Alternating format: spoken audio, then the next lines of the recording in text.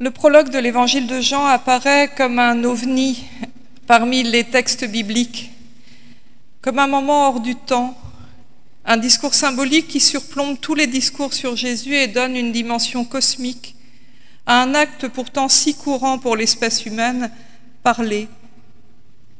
Si de nos jours les recherches sur les animaux montrent de plus en plus la richesse extraordinaire des langages qu'ils élaborent pour communiquer entre eux ou avec les autres espèces, Parler reste l'activité et la grandeur caractéristique de l'être humain.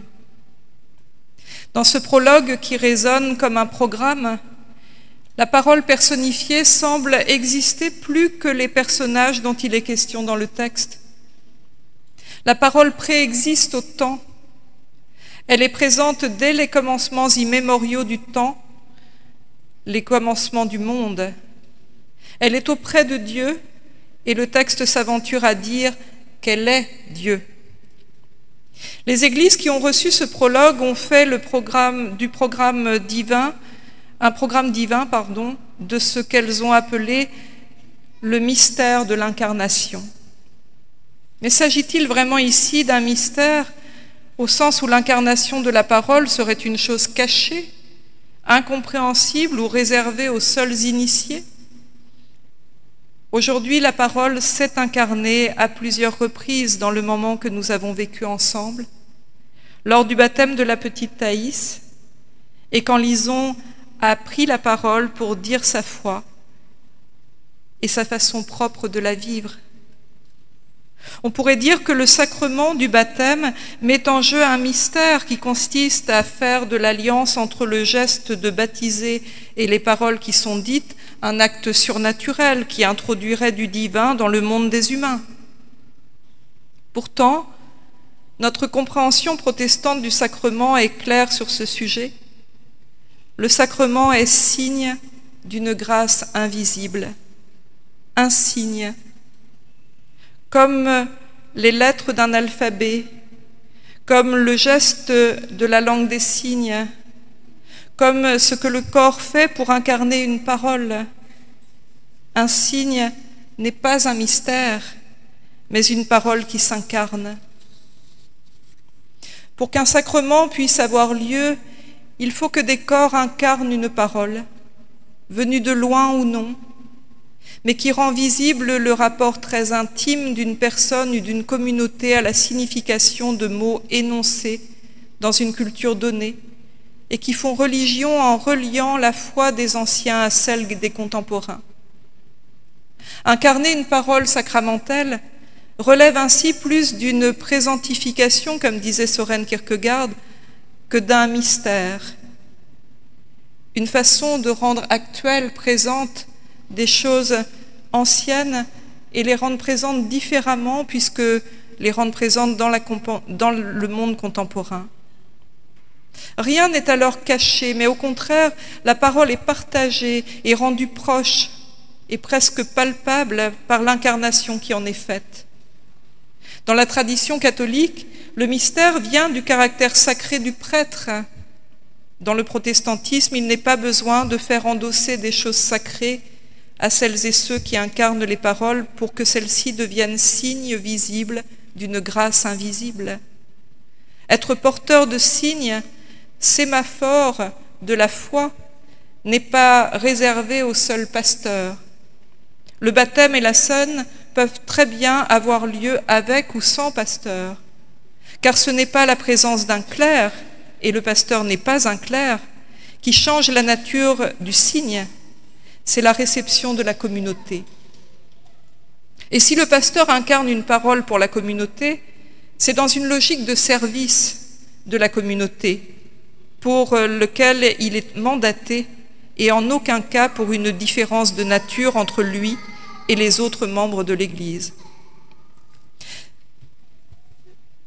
S'il y a différence de service, il n'y a donc pas différence de dignité. On comprend à ces nuances sur la question du sacrement que l'incarnation peut vite devenir le lieu d'un pouvoir particulier. Qui pourrait dire les paroles sacrées qui pourrait rendre le geste efficace? Qui a le pouvoir de cela? Incarner une parole, c'est être la parole, selon des conditions particulières qu'il faut sans cesse définir. Il est intéressant de noter que c'est autour du baptême et des deux figures de Jean et de Jésus que se met en scène dans les évangiles la question de l'incarnation. Bien sûr, il y a les récits de nativité qui mettent en place la question de l'incarnation du divin dans l'humanité. Mais le baptême, lui, nous parle de l'incarnation de la parole dont le prologue nous dit qu'elle est Dieu. Si dans nos Bibles, seuls deux évangiles se lancent dans l'incarnation biologique avec le récit de la naissance de Jésus, avec toutes les difficultés que présentent ces récits, les quatre, en revanche, nous parlent du baptême comme moment inaugural de l'incarnation de la parole de Dieu. Comme si le signe que Jean le Baptiste posait avant que Jésus ne vienne le recueillir était la grammaire du langage des évangiles et que Jésus allait lui donner chair, qu'il allait donner à tous ces symboles un sens particulier, une signification incarnée. La chair est une notion difficile à résumer. Ce n'est pas la viande, mais en même temps c'est la matière du corps. Ce n'est pas la métaphore des sens, mais en même temps, sans les sens, la chair n'est rien. Ce n'est pas la biologie de nos vies, et en même temps, sans notre caractère mortel, la chair n'a plus de sens. La compréhension de l'incarnation dépend de la signification que l'on choisit de donner à cette chair dont parlent les Écritures. Le prologue tente d'en donner tous les aspects. Il parle d'existence, de vie, de monde et de demeure, et tente d'expliquer comment la parole peut prendre chair. Dans le prologue de Jean, la parole vient comme une hôte dans le monde et y fait sa demeure. Elle habite une chair qui, sans elle, serait uniquement organique, matérielle, sans autre dimension symbolique. Mais on pourrait comprendre l'alliance entre la parole et la chair autrement et y voir une force de transformation que ferait de la chair un nouveau langage. La parole ne serait plus alors son hôte, mais une partie d'elle, une de ses modalités d'être. On pourrait aussi comprendre la chair comme tout ce qui est matériel et la parole comme tout ce qui donne une signification symbolique à cette matière. Alors l'incarnation ne serait plus seulement l'affaire de l'espèce humaine, mais le monde pourrait incarner lui aussi une parole.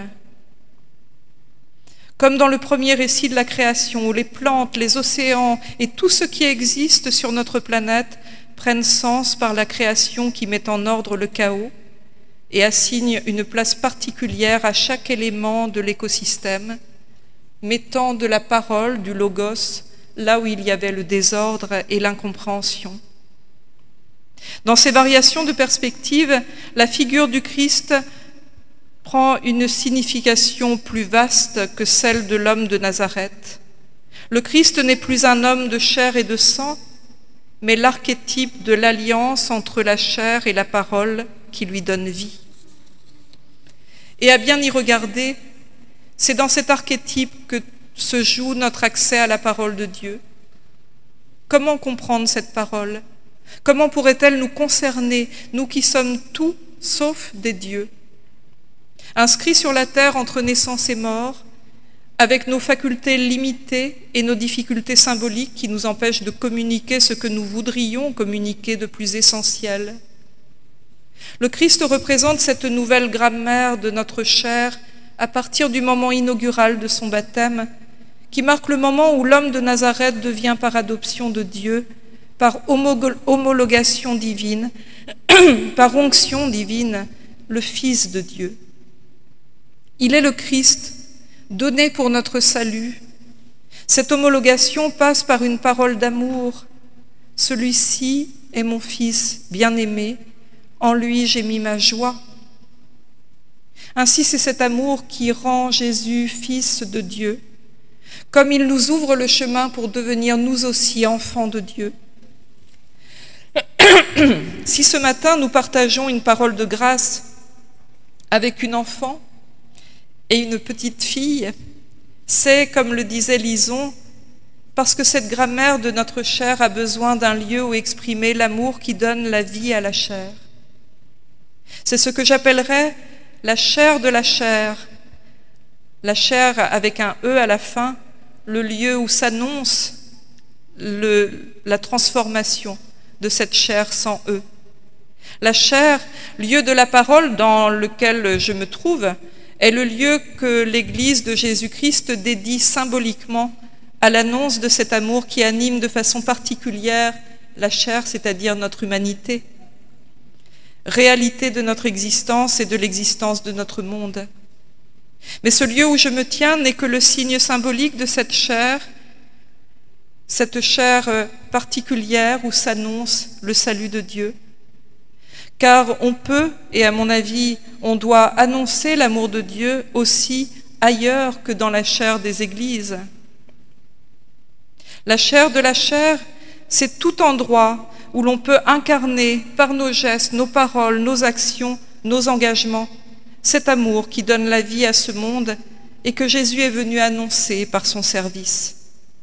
C'est chaque fois que nous faisons la parole de Dieu vivante, que nous la rendons présente, que nous la rendons efficace, que cette chair est vraiment là pour annoncer que le Verbe s'est fait chair.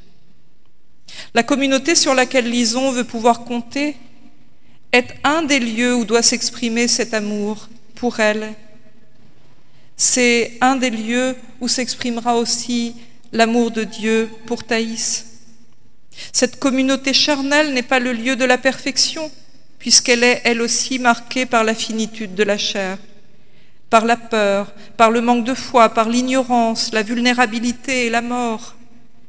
Mais elle est le lieu de la proclamation d'une parole de salut pour le monde, reçue et partagée. Incarner la parole de Dieu, c'est être capable de promettre, comme le faisait le Christ, demandez et l'on vous donnera, cherchez et vous trouverez, Frappez et l'on vous ouvrira, car quiconque demande reçoit, qui cherche trouve et qui frappe, et à qui frappe on ouvrira. C'est ce texte qu'a choisi Lison pour sa confirmation. C'est ce passage de l'Évangile qui lui a parlé à elle. C'est cette parole qui s'est incarnée en elle. C'est se mettre au service de toutes celles et ceux qui veulent vivre de la parole de Dieu, que de venir rejoindre tous ceux qui servent cette parole. Il faut donc que ce qui est prêché et annoncé dans les églises incarne véritablement la parole d'amour de Dieu. Ce n'est pas un exercice de rhétorique, c'est une façon de rappeler le rôle très important que nous avons dans ce monde. Il faut donc donner chair à nos chairs donner chair à nos lieux d'annonce, à nos lieux de proclamation, pour qu'elles soient des lieux d'une parole d'engagement pour ce monde. Il faut donc donner chair à la chair et faire que la parole annoncée devienne l'affaire de tous et de toutes dans leur vie. Amen.